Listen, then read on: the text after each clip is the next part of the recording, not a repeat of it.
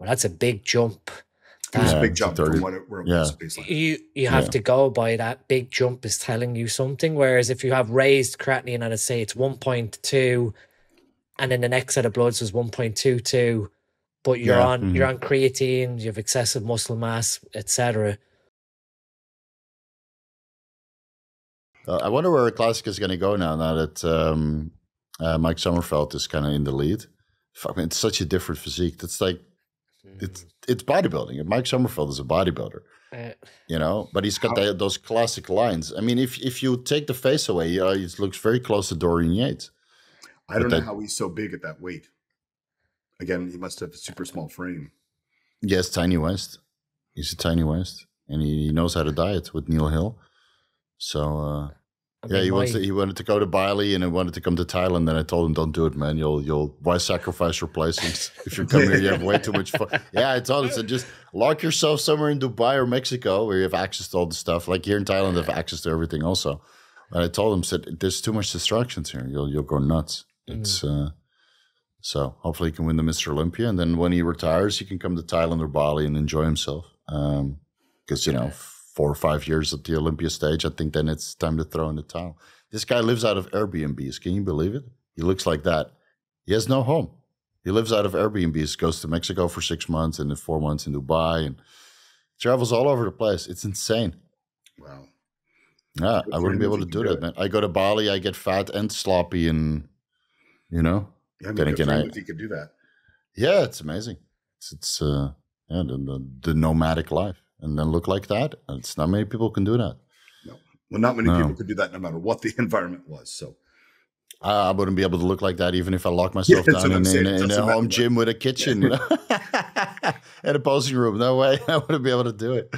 Um, did you guys hear anything more about China and, and the raw situation? Like Mastro and Primobolan is now completely gone everywhere. All the underground labs that don't have it. there is Um, there's some trickling into the United States in Mhm. smaller. I guess they don't.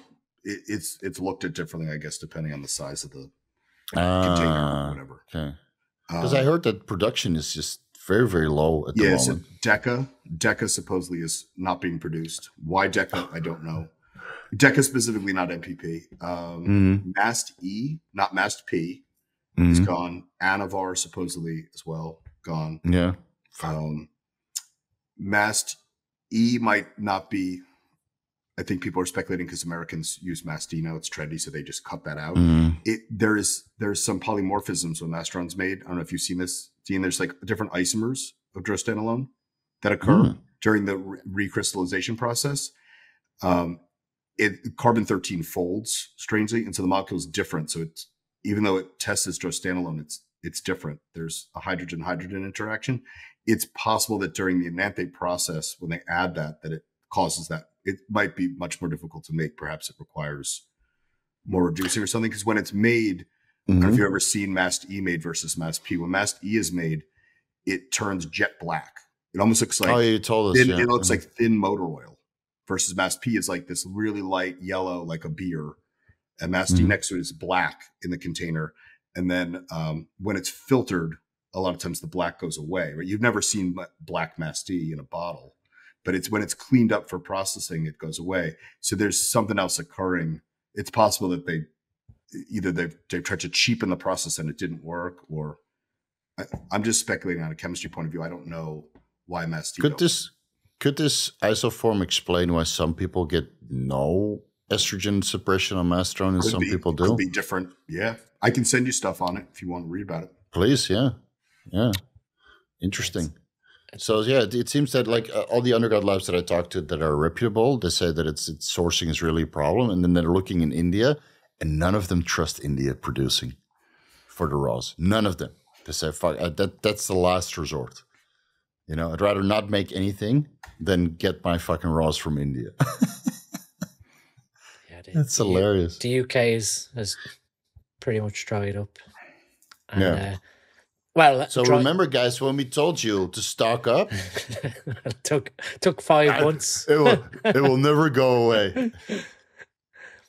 It took five It's, months, uh, but it's uh, I, I had a few uh, consults where the question was proposed surrounding mast because Primo's next to impossible. And like you said, with um, Primobolan, like even Rimobolan, there's a lot of Mhm. fakes and It's gone now. It's, yeah, it's not being produced anymore. the wound down of production now, you're you're left with limited choice. So we might see a renaissance of uh, test and Deca come back from the the eighties.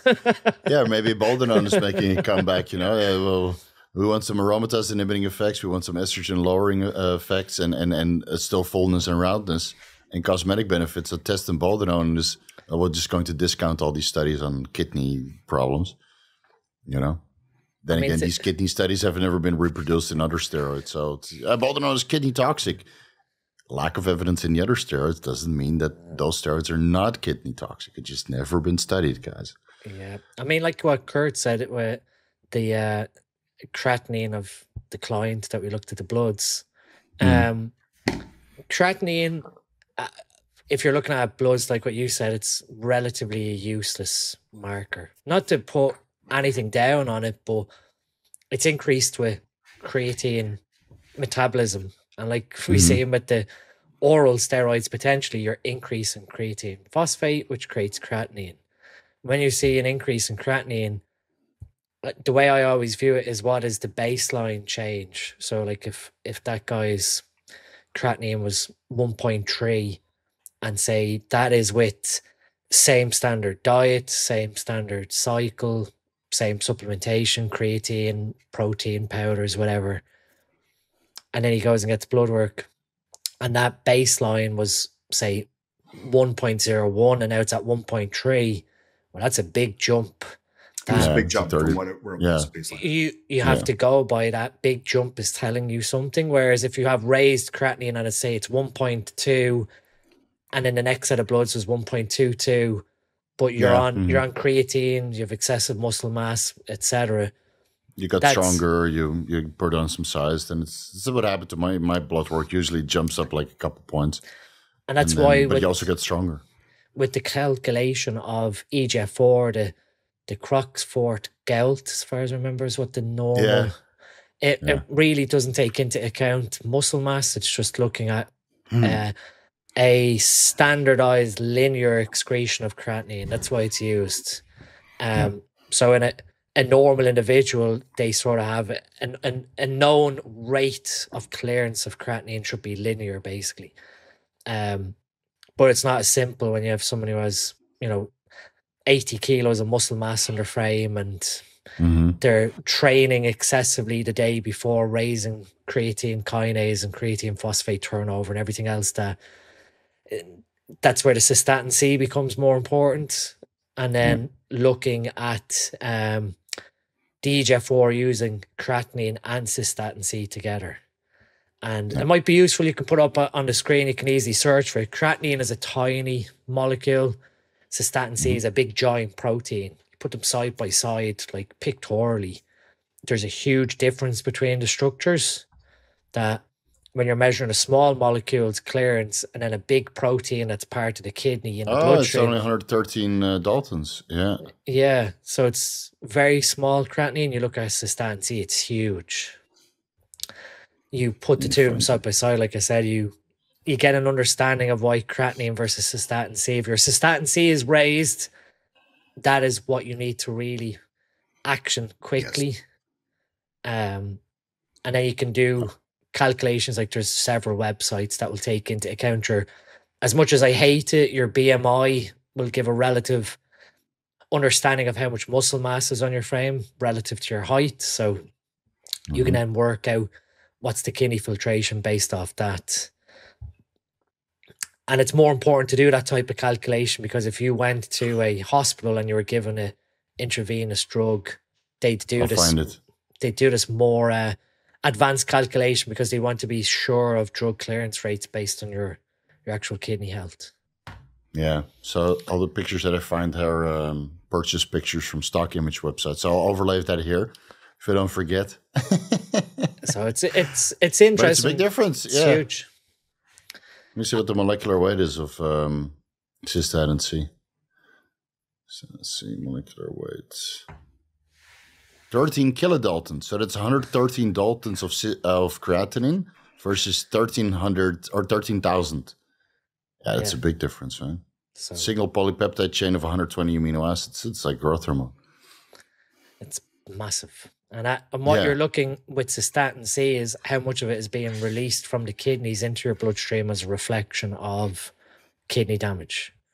Right. Um, and then the other thing, what you want to look at with bloods towards kidney health is where where is albumin changed? If albumin drops, Yeah. hmm you're losing it through the kidneys as well. So for serum, Yeah, you can check that with the urinalysis and your protein, right? You have a protein one or trace plus one, plus two, plus three, and you can find those ranges of how much albumin is in your pro uh, in your urine.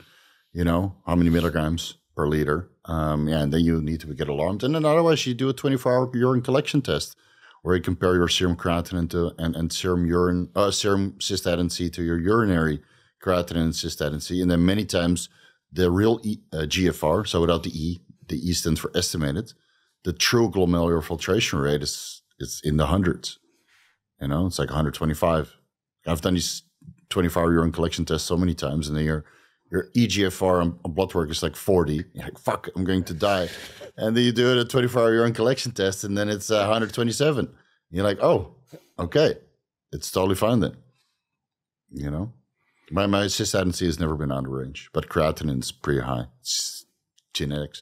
Have you guys ever noticed with clients that are on a high carbohydrate diet that their creatinine levels are generally lower than guys that follow a carnivore or ketogenic or more high carb or high protein diet with I mean- less? Makes sense.